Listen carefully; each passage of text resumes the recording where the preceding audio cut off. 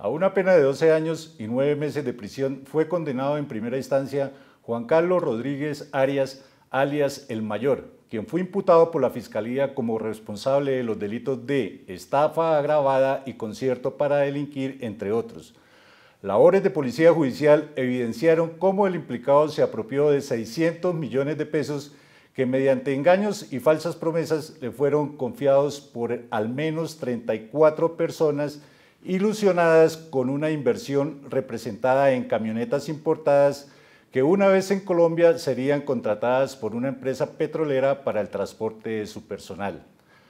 A estos engaños se sumaron los cometidos con personas a quienes el implicado contrató para cumplir distintas tareas, los mismos que otras con quien adquirió equipos de comunicación a creencias en muchos casos fueron respaldadas con cheques sin fondos. El caudal probatorio presentado por un fiscal de la seccional Boyacá hizo que el procesado aceptara su responsabilidad en los cargos imputados. La Fiscalía habla con resultados.